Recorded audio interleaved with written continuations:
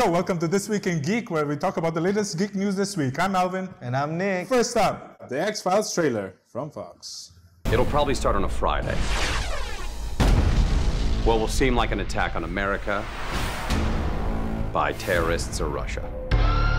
Driven by a well oiled, well armed, and multinational group of elites using alien technology that government's been hiding for 70 years.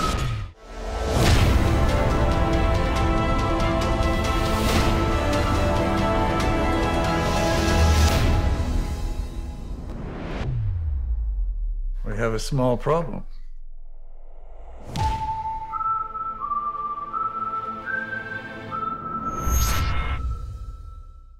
Oh my god, pretty awesome, man.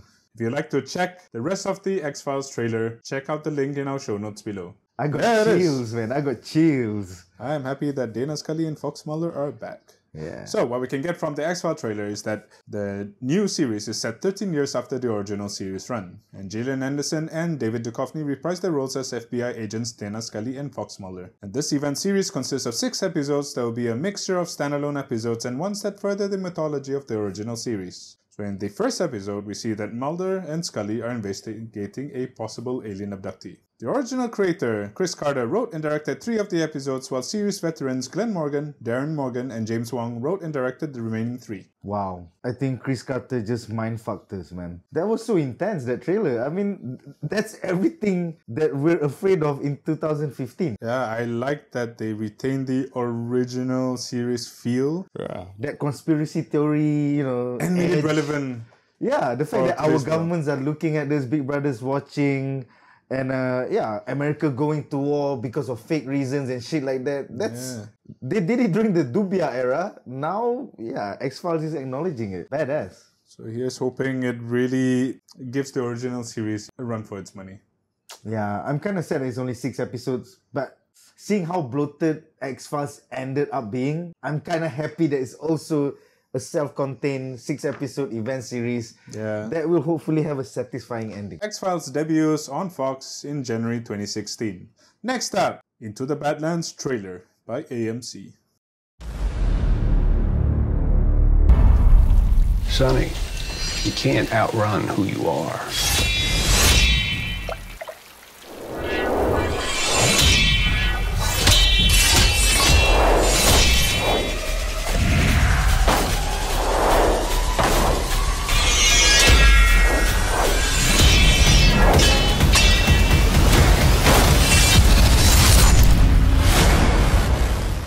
So if you'd like to check the rest of the Into the Badlands awesome trailer, check out the link in our show notes below. Oh my god. Is this like the same studio that came out with Breaking Bad and Mad Men?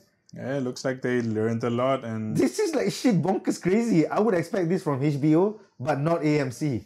yeah, it looks amazing, it looks amazing. So, the series is loosely based on the 16th century Chinese novel Journey to the West. It follows a warrior named Sunny as he travels through dangerous territory known as the Badlands. Badlands are ruled by violent feudal barons, and Sunny seeks to escape the Badlands and his own past when fate throws MK into the mix. So, Sunny is director, actor, martial artist Daniel Wu, and in the series, he is the regent or the head clipper to the top baron in the Badlands named Baron Quinn. Clipper. Clipper. so he's taken in as a child, and Sunny has no memory of his parents or where he came from. And this solitary warrior has killed hundreds, and each death is marked with a tattoo on his back. Yeah, and Sunny sometimes dreams of a different life and has feelings for a lady named Veil. Yeah. Yeah. Yeah, I mean, I gotta say, man, the tattoos look badass. He has that like Jedi code as Yeah. you can see in the full trailer. It's like, no, I can't I can't have a family. I'm a killer. Yeah, next up we see MK, that little teenager that he rescued from a box. So, and MK is played by Aramis Knight. And MK is a teenager with powerful dark forces inside him. And only apparent if his skin is cut. And in the series, Sunny aims to help MK harness his gifts. So here we have um, maybe kind of like a Hulk. yeah. Hulk wannabe. You won't like me when I'm angry. Uh, cut me up and you're dead, bro. and next up we have the widow, played by Emily Beecham, and he she is the Badlands' newest Baron or Baroness, I guess, and martial arts master. A deadly widow succeeded her husband after his not so mysterious murder, most likely by her hand, Yep. and she aims to eliminate the top dog in the Badlands, Quinn. Now, talking about the top dog, here is Baron Quinn, played by Marton Csokas. Yeah, he also eliminated the previous senior Baron. It seems like a pretty rough world. A world where the only way to succeed is to kill your competitor. Or kill your senior. Or kill your senior. I, I like how, despite being based on like that classic 16th century novel Journey to the West, it's just fucking bonkers, man. Yeah, I, I love the post-apocalyptic feel. I actually love every scene in the trailers. It There's- just there's, like, evokes so, so many influences. It feels like you're in the deep south Yeah. where there's like plantations and slavery. And yet there's and hints of uh, and there's hints of steampunk. There's hints of the prohibition era. and you've got kung fu mixed in. You got sword fighting. It's Yeah, just man. like it, it seems like a roja. It it looks good. It looks good, man. Looks so good. Really can't wait for this. Really can't wait for this. Yeah. It I'm, I'm, so wondering like if Sunny is supposed to be Sun Wukong or the monkey god, then who's MK? Is Man- MK the pig? Or is MK the goat or the dragon? Or is MK supposed to be the priest in the Journey to the West storyline? or he could be the Monkey King. Nah, Sunny's the monkey king, man. Sun Wukong, yo. You can always like twist it up a bit. Maybe, maybe. So Into the Badlands debuts on AMC in November 2015. Next up, the Westworld teaser. Do you know where you are? I'm in a dream. That's right, Dolores. You want to wake up from this dream? Yes, I'm terrified. Then answer my question correctly. Have you ever questioned the nature of your reality?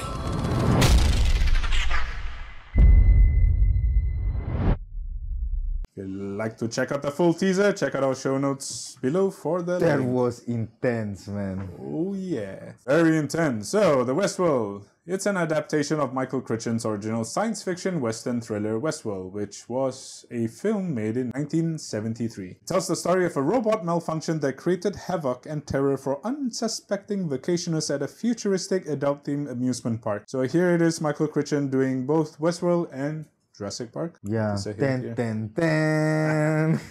The series comes from exec producers J.J. Abrams and Jonathan Nolan, who also co-wrote and directed the pilot. Wow. Okay, that is a st- stellar writing crew. I, I didn't know this until it. yeah, I mean, Jonathan Nolan did uh, that awesome TV show. I can't remember what the TV show was I don't called. care, man. He did Inter- Interstellar and Dark Knight. Right? That's it. I mean, he's been working with his brother Christopher Nolan for the past 10, 15 years, man. Yeah, and it's also J.J. Abrams as well. You know, who's had Lost. Lost, Alias, Felicity, the Mission Impossible series, the Star Trek series, the Star Wars series. So yeah, this this creative team is bonkers. But what makes Westworld stand out is a recent controversy that arose when more than 50 naked extras taking part in the filming were being well paid to touch one another's genitals. Up to $600, according to a source familiar with the shoot. And this is a contract they signed up willingly.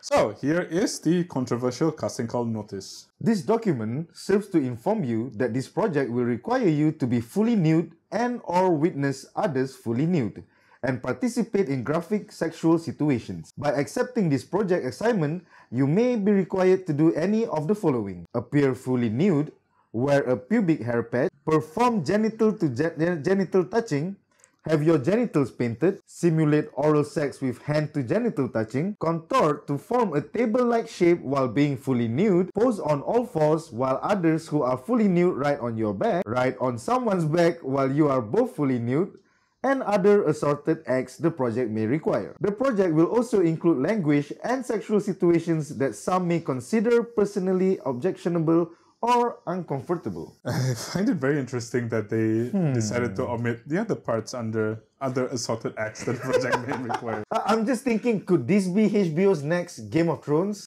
It could be the next Game of Thrones in the sense that you'd see like boobs in every single episode. Yeah, I mean, Game of Thrones got popular because they had so many sex positions. The one where characters were talking while fucking. Yeah. Uh, and yeah, seeing from the trailer, I think we would expect even more of that. I got a really Matrix vibe from the trailer. Yeah. Uh, question of identity, question of reality. Uh, and yeah, like you said, Michael Crichton wrote about theme parks gone wrong before uh, with Jurassic Park and shit that he did earlier with Westworld. So I look forward to this reboot. I mean, it has Anthony Hopkins, Evan Rachel Wood, James yeah. Marsden. Those are like fucking talented actors, man. Yeah, and, and the producer cast as well. I mean, it's. Yeah, you got fucking Abrams and Nolan. I think this is something to really look out for. If you are in the Oh mood for something to fill your Game of Thrones needs while Game of Thrones is preparing for the next Oh, season, yeah. I think this is it. I, I gotta say, 2016 is shaping up to be a fucking awesome year for TV, man. Oh yeah, really looking forward to it. Really looking forward to Westworld. Westworld debuts on HBO in early 2016. So continuing with our Wild West extravaganza this week. This is week's cool shit. Gunslinger.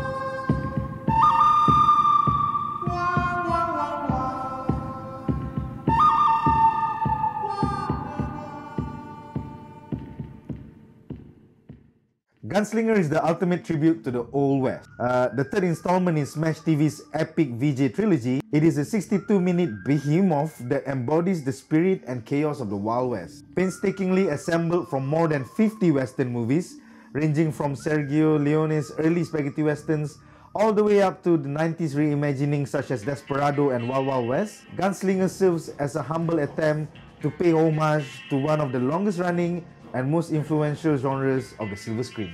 Wow. Yeah, I mean, just listening to Ennio Morricone's soundtrack, it's so classic, man. It, it brings back memories, man. It's 62 minutes of bliss. If you'd like to check out the full video, check it out and check out the link in our show notes below. Yeah, uh, we've got the links to all the full trailers uh, in today's show. So definitely check out our show notes, guys. These shows are gonna blow your minds, man. Yeah, really looking forward to 2016. Oh yeah. All That'd be awesome. That's a wrap. So that's it for this week in Geek. Stay tuned to our next episode every Friday. What do you think of this week's episode? Leave a comment in the comment section below. And as always, if you like us, subscribe and share our videos. This is Alvin. And I'm Nick. May the force be with you. I like that. I like.